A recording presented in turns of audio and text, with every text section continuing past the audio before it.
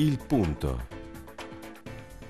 Il presidente Valerio Cattaneo ha commemorato in aula il presidente emerito della Repubblica Oscar Luigi Scalfaro. Domenica 29 gennaio è deceduto a Roma il senatore a vita e presidente emerito della Repubblica Italiana Oscar Luigi Scalfaro.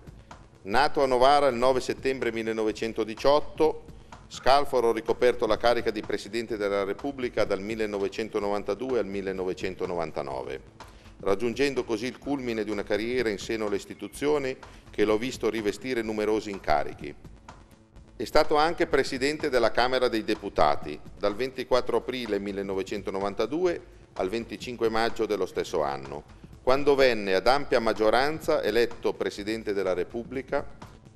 Desidero ricordare che nel novembre 2008 il Consiglio regionale ha organizzato un incontro con il Presidente emerito della Repubblica al Teatro Regio di Torino per una sua lezio magistralis di fronte a 1300 studenti delle scuole superiori piemontesi in occasione della manifestazione di chiusura delle celebrazioni per i 60 anni della Costituzione repubblicana. Sulla figura del presidente Scalfaro sentiamo il ricordo di Enrico Nerviani, novarese, già consigliere e vicepresidente del Consiglio regionale. È questo un momento da vivere lontani da ogni retorica, ricordando quello che mi sembra contare di più, l'amore di Scalfaro per la Costituzione. Aveva come costituente contribuito a scriverla e aveva preso con se stesso l'impegno ad osservarla e a servirla per tutta la vita.